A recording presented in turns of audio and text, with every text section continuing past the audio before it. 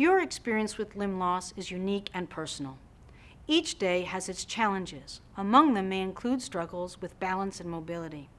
I'm going to teach you how to do a simple exercise that can increase your strength, balance, mobility control, and confidence in your prosthesis.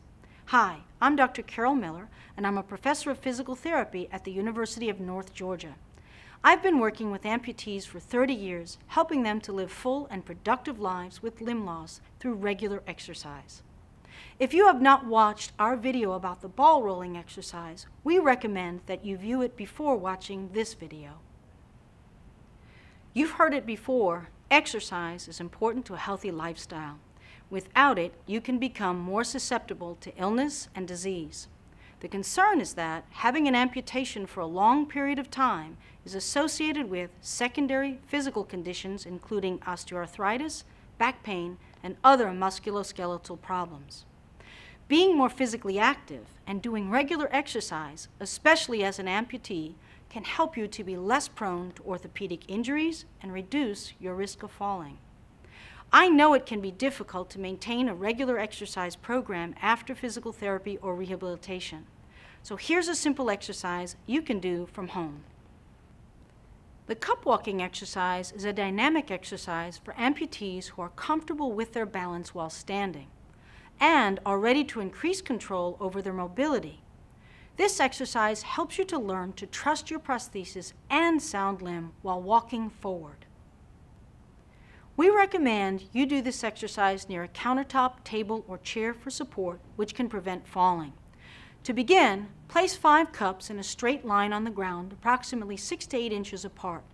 Solo cups work great for this exercise because the height of the cup is just right. Now, place all of your weight on the prosthetic limb while lifting the sound limb over the cup. Do not take a step just yet. Hold the foot of your sound limb over the cup for a second or two and then complete the step. You can count out loud to stay on track. Counting out loud will also help you use proper breathing techniques for greater efficiency. Step forward with your prosthetic limb and repeat for each cup. For the above knee amputee, you will need to bring your prosthetic foot up to the sound limb. If you are below the knee amputee, you can step over with each leg.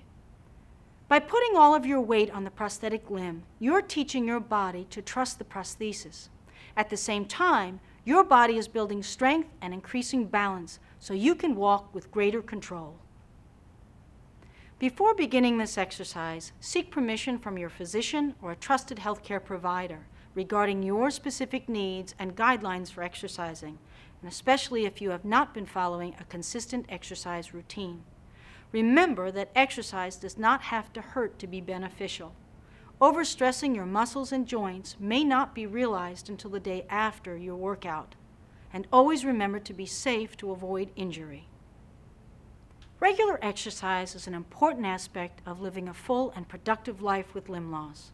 By doing the cup walking exercise, you will gain greater control over your mobility and trust in your prosthesis and sound limb while walking forward.